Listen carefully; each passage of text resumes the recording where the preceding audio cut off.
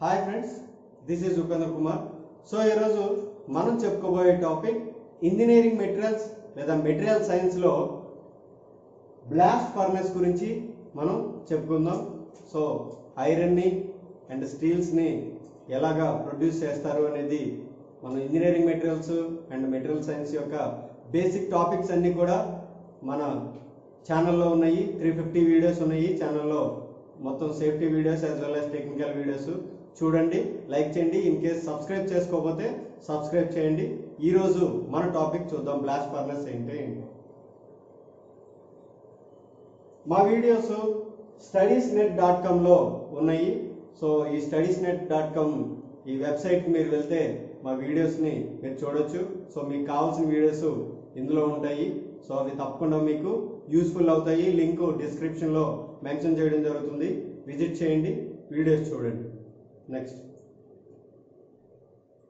so production of pig iron by blast furnace blast furnace ఎందుకు use చేస్తాము అంటే Pig ఐరన్ని తయారు చేయడం కోసం. పిగ్ ఐరన్ని తయారు చేయడం కోసం మనం బ్లాస్ట్ ఫర్నెస్ని యూజ్ చేస్తాం. సో ఇది బ్లాస్ట్ ఫర్నెస్ యొక్క లైన్ డయాగ్రాము సో దీని గురించి ఒక్కొక్క దాని గురించి మనం తెలుసుకుందాం. ముందుగా blast furnace is used for manufacturing of pig iron so pig iron manufacturing చేయడానికి బ్లాస్ట్ ఫర్నెస్ వాడతారు. It is a vertical steel shell ఇది ఒక vertical steel shell its height varies from twenty four to thirty three metres దీని యొక్క height twenty two metres నుంచి thirty three metres వరకు ఉంటుంది blast ఫర్నెస్ది diameters varies from eight to ten metres at bottom so ఇది diameter varies from eight to ten metres at bosh ఈ bosh దగ్గర మనకి diameter ఎక్కువ ఉంది కదా సో ఈ దీని యొక్క డయామీటర్ ఎంత అంటే ఎయిట్ టు టెన్ మీటర్స్ ఉంటుంది. Its inner surface is lined with refractory materials so furnace ఎప్పుడు కూడా మనకి ఇన్నర్ ఇదంతా కూడా రిఫ్రాక్టరీ మెటీరియల్తో బిల్డ్ చేయబడి ఉంటుంది. The normal capacity of the furnace ranges from eight hundred to twelve hundred tons per figure and per day. So దీని యొక్క normal capacity eight hundred to twelve hundred tons of pig iron per day. ఒక రోజుకి eight hundred నుంచి twelve hundred tons pig iron ఈ blast ఫర్నెస్లో produce చేయొచ్చు. Next. Products of blast furnace. So ఈ blast furnace use చేసి ఏమేమి products produce చేస్తారు? Pig iron is the raw material in the manufacturing of wrought iron cast iron and steel so wrought iron produce చేయాలన్నా cast iron produce చేయాలన్నా steel produce చేయాలన్నా మనకి Pig iron అనేది raw material కింద use చేస్తారు. So అందుకోసం మనం blast ఫర్నెస్లో Pig iron తయారు చేసుకొని దాన్ని మళ్ళీ ఈ రాట్ ఐరన్కి క్యాస్ట్ ఐరన్కి స్టీల్కి తయారు చేయడం కోసం ఈ పిగ్ ఐరన్ని రా మెటీరియల్ కింద యూజ్ చేస్తారు. Slag is the raw material in the manufacturing of the cement. So దీని ద్వారా వచ్చిన స్లాగ్ కూడా సిమెంట్ ఇండస్ట్రీస్లో రా మెటీరియల్ కింద యూజ్ చేస్తూ ఉంటారు. Blast furnace gas contains up to thirty thirty percentage of సివే CO has a considerable calorific value so ఇది blast ఫర్నెస్లో gas thirty percentage of the carbon CO so carbon monoxide ఉంటుంది. So ఇది ఎక్కువ calorific value అనేది ఉంటుంది. అంటే మనకి blast ఫర్నెస్లో వచ్చి products అన్నమాట ఇవన్నీ కూడా. Next okay. ఇప్పుడు ఈ బ్లాస్ట్ ఫర్న్ యొక్క లైన్ డయాగ్రామ్లో ఒక్కొక్క దాని గురించి మనం చూద్దాం. సో ఇది స్మాల్ బెల్ అండ్ ఇది లార్జ్ బెల్ ఇది మొత్తం కూడా మనకి రిఫ్రాక్టరీ లైన్ అన్నమాట. అండ్ ఇది గ్యాసెస్ వెళ్ళిపోవడానికి ఒక వెంట్ సో ఒక ప్రొవిజన్ అండ్ ఇది అవుటర్ స్టీల్ సెల్.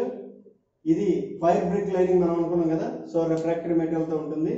అండ్ ఇది బస్టల్ పైప్ సో ఇది టైర్స్కి కనెక్ట్ చేసి ఉంటుంది. ఈ హీటెడ్ ఎయిర్ ఏదైతే ఉందో దీని ద్వారా మనం లోపలికి పంపిస్తూ ఉంటాము. అండ్ ఇది టైర్స్. అండ్ ఇది ట్యాప్ హోల్. ఈ ట్యాప్ హోల్ నుంచి మనం ఈ మోల్డెన్ ఐరన్ని బయటికి తీస్తూ ఉంటాము. Okay?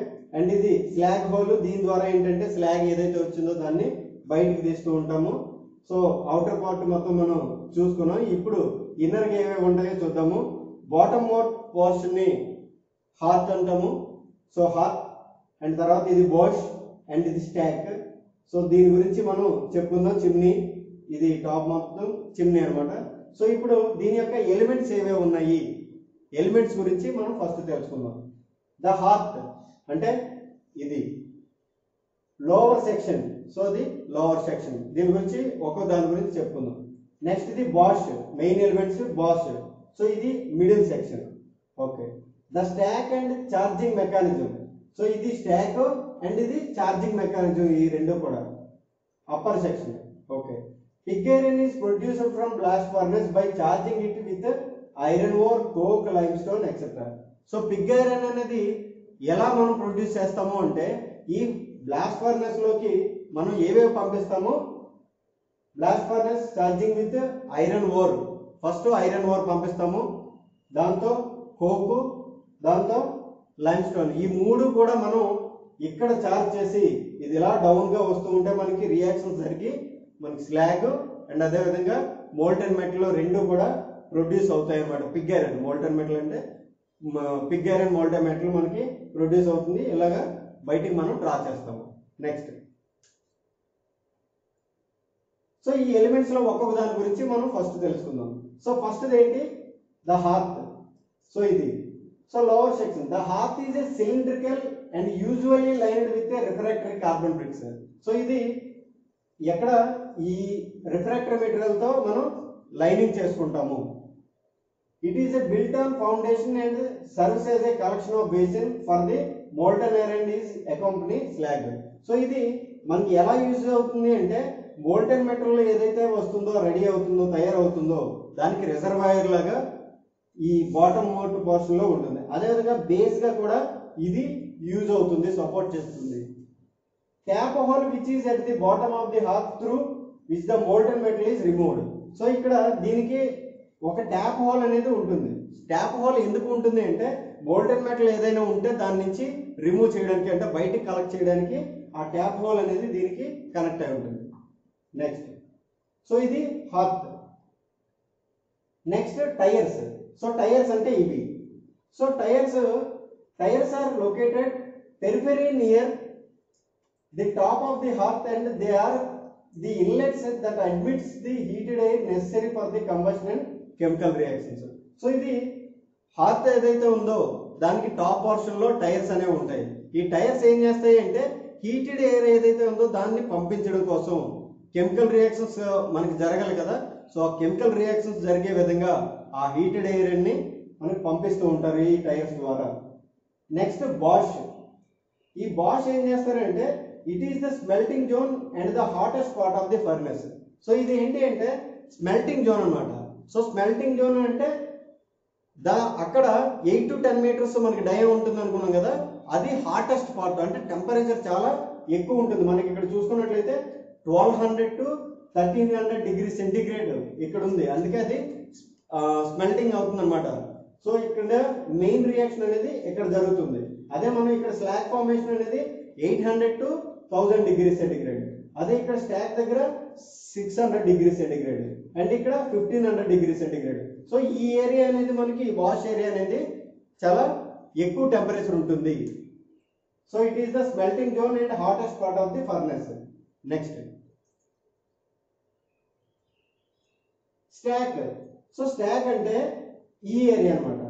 It is the smelting zone and tapering cylindrical portion ఇది స్మెల్టింగ్ జోన్ ఇది కూడా ఎందుకంటే టెంపరేచర్ ఎక్కువ ఉంటుంది కాబట్టి అది ట్యాపర్గా ఉంది. సో ట్యాపర్గా తన దాని యొక్క పోర్షన్ ఉంది.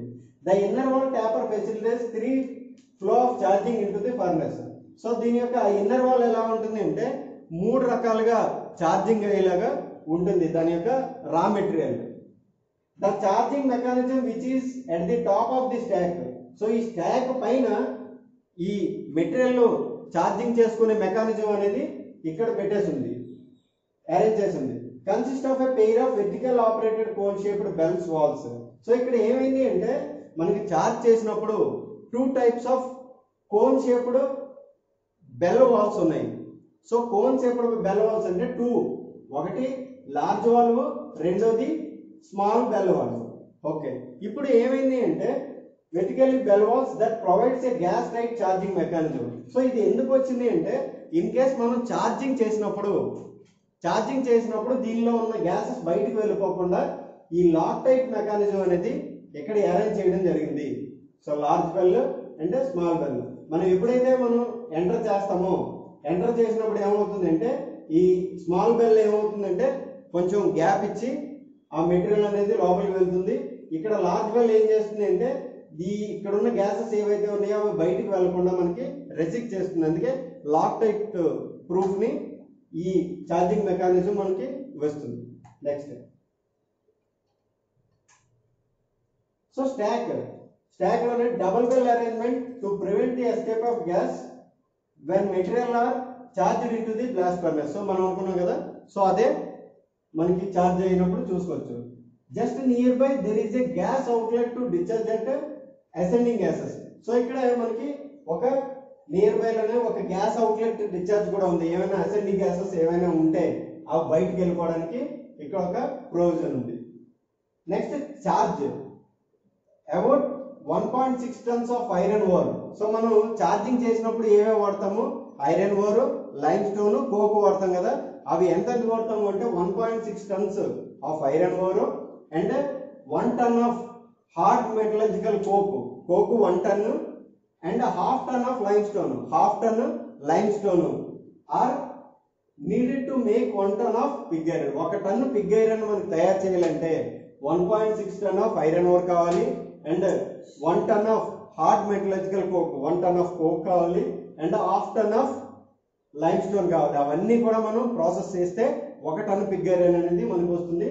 అది ఇక్కడ ఛార్జింగ్ చేసుకోవచ్చు. నెక్స్ట్ సో ఇది నెక్స్ట్ ప్రీవియస్ ప్రీవియస్ సో మనకి కాంపోనెంట్స్ అన్నీ కూడా మనం తెలుసుకున్నాం.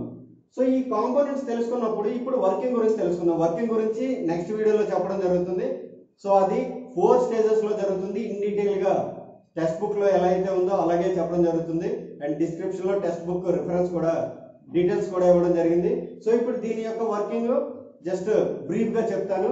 మనం ఏం చేస్తాము అంటే చార్జ్ చేస్తాం మెటీరియల్. ఆ limestone coke and iron ore మూడు కూడా ఇలా ఇందులో చార్జ్ చేస్తే ఇలా వస్తూ ఉంటుంది. సో దీని యొక్క టెంపరేచర్కి ఆ కోక్ కూడా ఏమవుతుందంటే బర్న్ అవుతుంది.